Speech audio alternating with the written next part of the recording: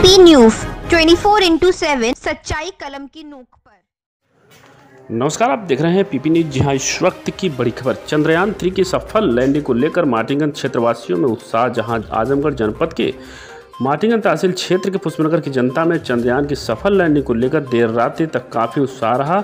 आइए देखते हैं ग्राउंड रिपोर्ट। बयान पुष्पनगर निवासी समाज सेवी राणा सिंह आइए देखें विजय सिंह की खास रिपोर्ट। नमस्कार सर आपका स्वागत है हमारे चैनल में। सर भारत को बहुत बड़ी सफलता मिली हुई है। ठीक है? कि भारत का चंद्रयान थ्री यह चाँद पर जो है सफल लैंडिंग हुई है। इसके बारे में आप क्या कहेंगे?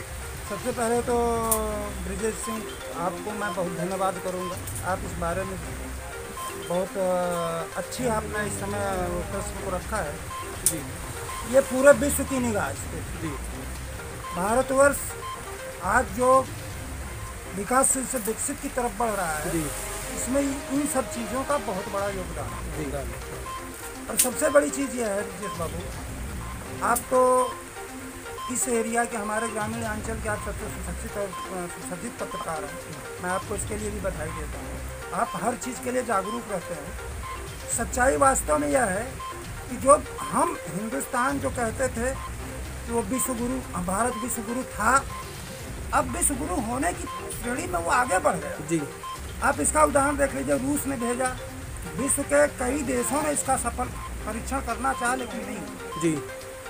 आज इस देश की और इस देश के नेतृत्व को मैं जी। बधाई देता हूँ। जी। इस देश के सारे 140 करोड़ जनता को बधाई देता हूँ कि आज ये हर्ष का विषय है। जी। ये बहुत बड़ी उपलब्धि हमारे लिए है। जी। इसके लिए हमको एंजॉय करना चाहिए और हम ये चाहते हैं कि देश जिस तरह से प्रगति कर रहा है जी। उससे और दस गुना प्रगति करे। आप पूछिए और कोई जिस प्रकार अभिगत दिवस पहले भारत ने जो है स्वतंत्रता जो है दिवस मनाया है जी।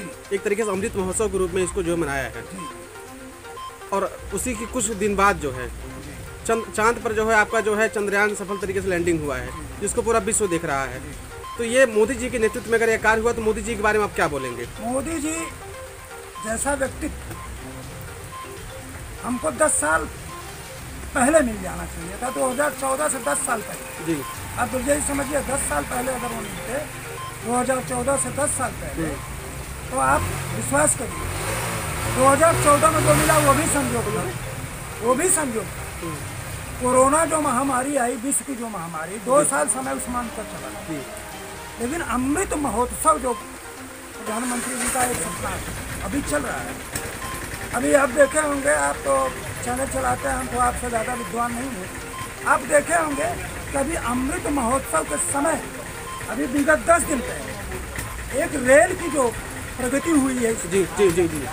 उसमें इन्होंने कहा कि अब अमृत रेल जो संरचना है हर स्टेशनों का विकास हर स्टेशनों का संरक्षण हर स्टेशन सुविधा हर यात्री को बिल्कुल वो अपनी बात कह सकता है कि हम इस कंटेनर में बैठे हैं सर। अगले स्टेशन पे उसकी भी इच्छा हो जाएगी कि आप गंदगी है यहाँ क्या है क्या नहीं।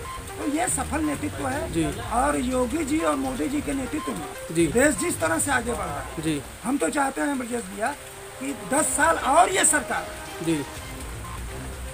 विश्व गुरु जो बनने के बाद आज आज 2014 में मोदी जी का कहना था मोदी जी ने कहा कि 2014 में हमारी अर्थव्यवस्था दसवें नंबर पे जी। आज की स्थिति यह है कि हम पाँचवें नंबर पे खड़े जी। विकासशील से विकसित होने में मात्र उन्होंने कहा कि पाँच साल और हमें हमको समय दे दीजिए दो हज़ार चौबीस से उनतीस तक। जी।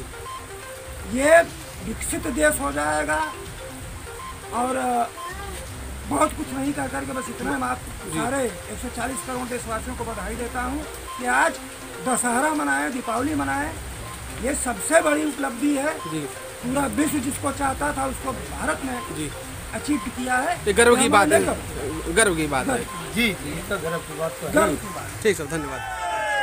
भारत माता की बोले भारत माता की पाकिस्तान मुर्दाबाद हिंदुस्तान।